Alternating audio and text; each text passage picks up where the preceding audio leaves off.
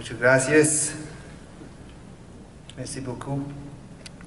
Julia, my friends, uh, nistam na pixko neo eh, ano psise, ano ah, ako mantik, ninas kamon, kinanas kum tinawa kakya no tentik, kinanas kum tinawa skoyak, napewak, kiteyak, kahkiyaw kinanas kum tinawa, ano tsa no tawin ans ah, manto kinanas kum tin. My friends, my relatives, just a little bit in Cree. Uh, I acknowledge you all for being here, and I thank you all in a humble, respectful way. And I greeted the men, the women, the youth that are here. And I gave thanks to the Creator for a beautiful day. And uh, I said that in Cree. And uh, I also want to acknowledge and thank the uh, organizations that put this conference on, the Canadian Council for International Cooperation, and the Canadian Association of International Development Professionals for putting this gathering on. And you've been here for two days. And I know I always say sometimes that the mind can only absorb as much as the one you're sitting on can. But I'm going to ask you for a little indulgence for the next 15 minutes or so to share some words with you all. And this gathering here, the last two days, and I'll talk a little bit slow so we can go with the interpreters for my fellow Indigenous colleague from the Amazon territory. You've been here and you've been participating in discussions that are or should be equally important to everyone, to all Canadians, to Indigenous peoples here in Canada and around the world, to governments, people in developing countries, and people in developed countries. All of us are affected and can play a role in eliminating inequality in achieving the Sustainable Development Goals. This work has a very specific context within Canada. And one of my priorities as National Chief is to close the gap. And what I'm talking about is the gap between the quality of life between Indigenous peoples here in Canada and our non-Indigenous brothers and sisters here in Canada. There's a huge socioeconomic gap.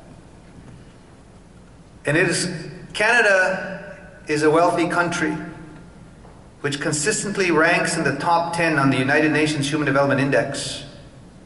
Yet the quality of life for First Nations people has consistently been at 63 or lower on that same index depending on the year. That's a huge gap. 6 versus 63rd. And we can all agree that is completely unacceptable. First Nations were not meant to be poor in our own homelands. When we're surrounded by the riches and gifts of our traditional territories,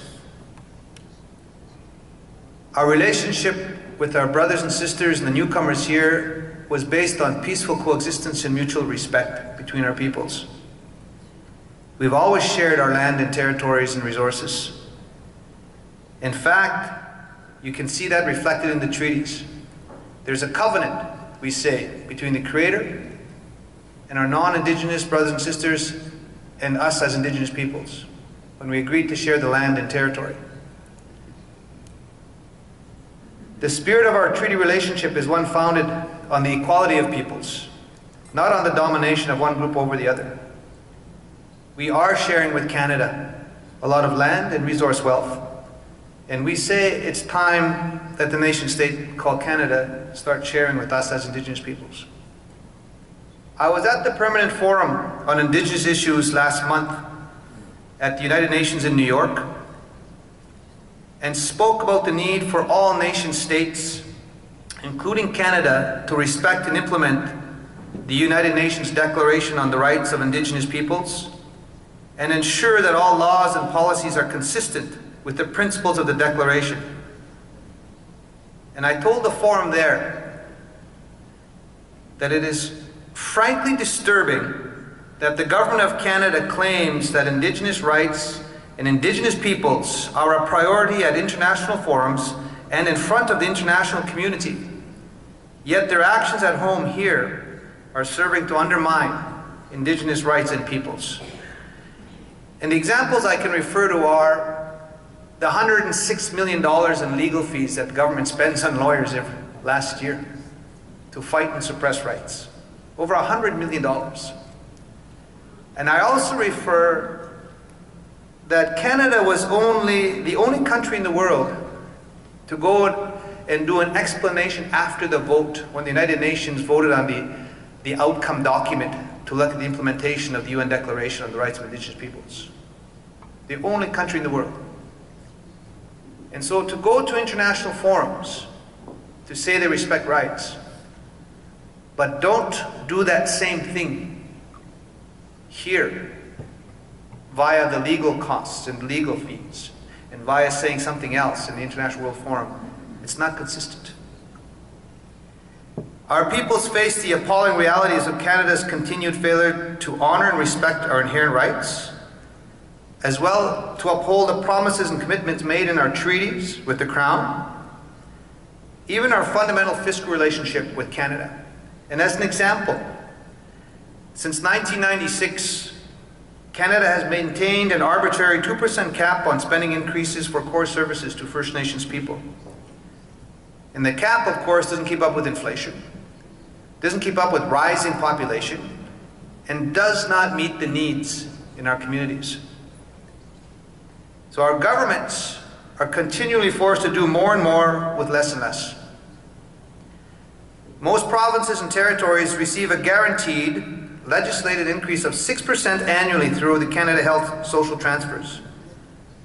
And since 2006, provincial governments have, on average, increased their investments to their citizens by up to 4 to 10% annually. The significant gap in development outcomes for First Nations relative to the rest of Canada is not surprising. It is sadly predictable. The 2% cap is a cap on Canada's potential. Young First Nations men and women, the fastest growing segment of Canada's population, are young First Nations men and women. So I continually try to get the message out about investing in human capital. Once you start investing in human capital in education and training, you'll reap huge returns on investment down the road. With the cap, we always say it leaves First Nations leaders administering our own poverty. And I say that's not acceptable. The statistics are stark and startling. And I was in a session earlier on listening to the, the need to, to collect data, but what do you do with the data and the statistics that you collect? And who's interpreting? And how do you use it to bring about policy and legislative change? Key, key forum. And here's some statistics for you. The life expectancy is five to seven years lower than the Canadian average for Indigenous peoples. We have an infant mortality rate at least 1.5 times higher than the national average. Indigenous women are three times more likely to experience violence than non-Indigenous women. One in four children in First Nations communities live in poverty, almost double the national average.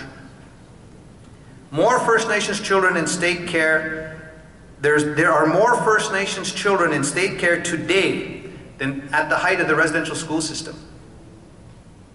Youth suicide rates are five to seven times higher than the national average.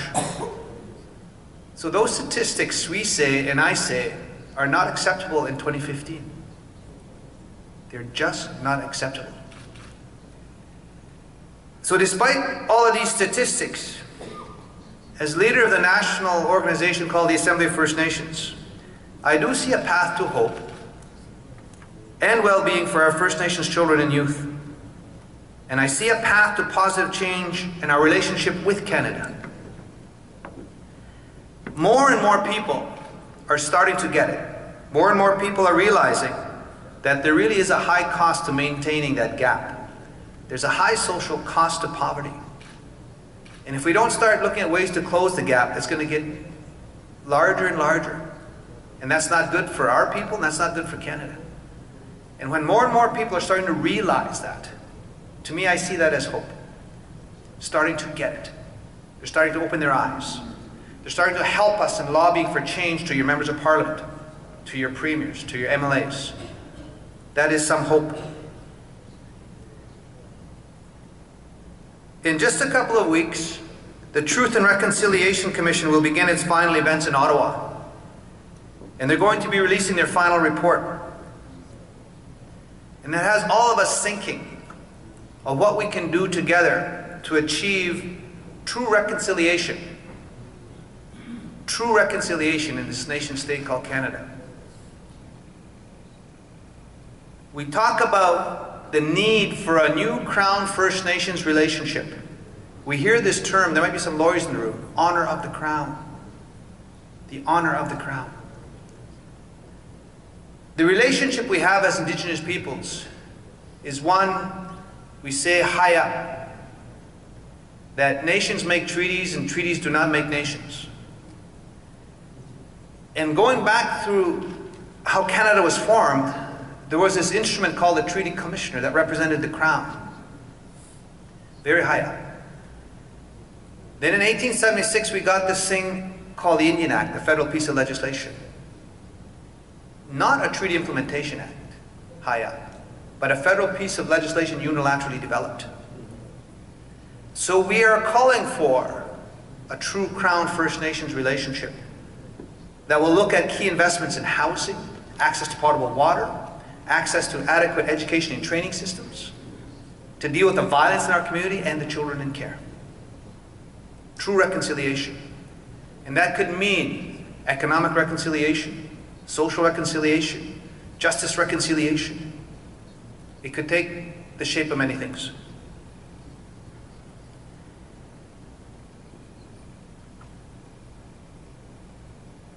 Giving life to something that's very important to our people.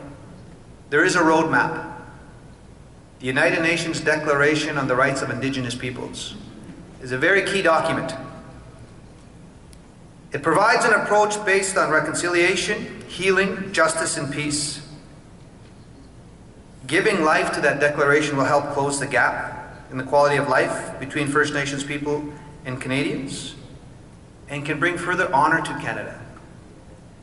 Canada has an opportunity, a great opportunity to be a shining light to the rest of the world and how they embrace and deal with Indigenous rights, how they can embrace Indigenous rights and Indigenous peoples.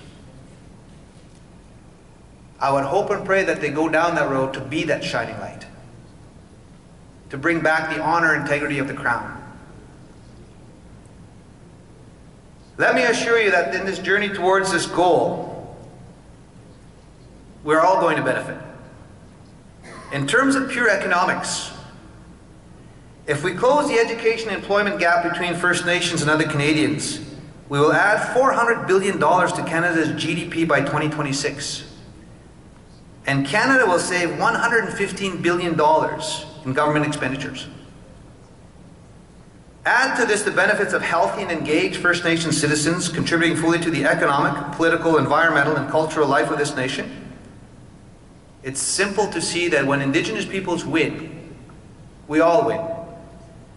If there's new ways to look at treaty implementation or revenue sharing or key investments in schools, you open a school door, you close the, the door to a jail.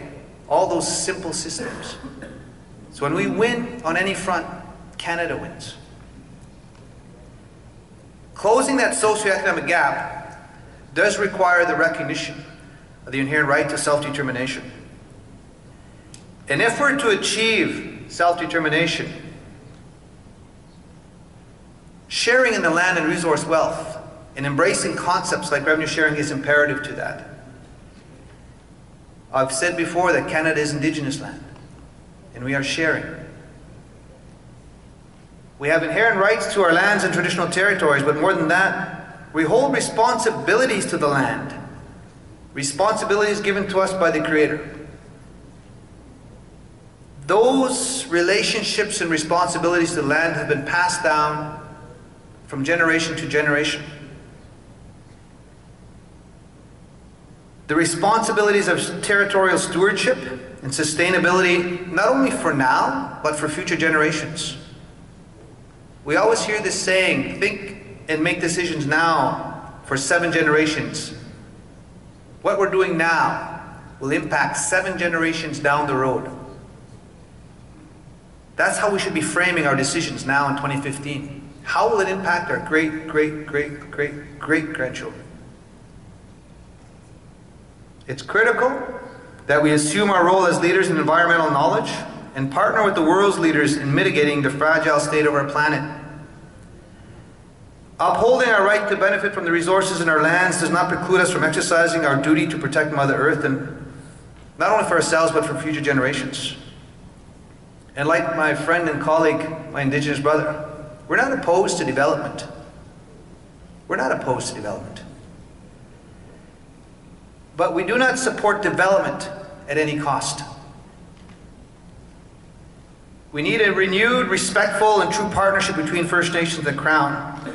A partnership that's based on recognition of rights and title. And laws and policies no longer based on termination of rights and title, but recognition. And so as opposed to a footprint huge like this on the environment, something smaller, way more manageable, so that the land and the waters are protected. Again, not only for our generation now, but for future generations. When we look at a partnership founded on the renewed spirit of equitable sharing and caring for one another, that's the essence of our treaty relationship. This means understanding that First Nations are not a problem, but we're a solution. We're not an obstacle, but we are allies in building a better Canada. A Canada in which we responsibly and respectfully embark in economic ventures. A Canada in which our youth prosper together.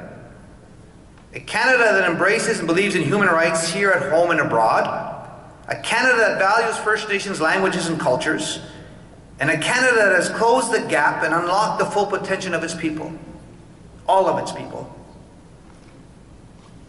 I stand here with my colleague and brother Edwin to remind Canada and all nation states that inequality affects all of us, and we are all part of the solution.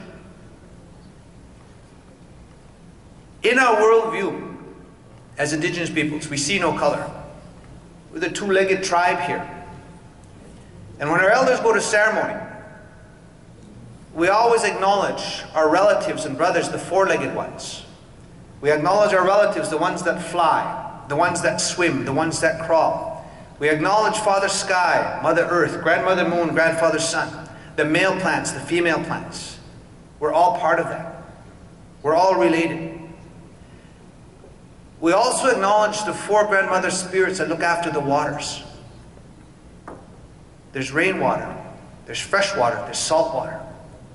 And then there's the water that breaks when life is to be born. Four waters. We acknowledge all of that. We're a part of this huge system. And once we have that indigenous worldview, we start seeing things like our elders teaching that. William Commanda, one of the elders from Kitigan said it this way. The streams and waters across Turtle Island and across the world, they bring life to Mother Earth. Just like the veins in your body give you life and bring you life. You never want your veins to clog up and get dirty. The same way with the streams and the lakes, and the river systems on Mother Earth. We as Indigenous peoples, we urge Canada and all nation states to uphold our Indigenous rights and fundamental human rights. It's the only way to successfully achieve the Sustainable Development Goals and our own goal of a stronger and more fair and just Canada. So I urge us all to put our minds and hearts together to build a better relationship built on mutual respect, built on mutually sharing the land and territories. And that's my words and thoughts for you all today. Ego se. Kinenaskum for listening. Thank you very much.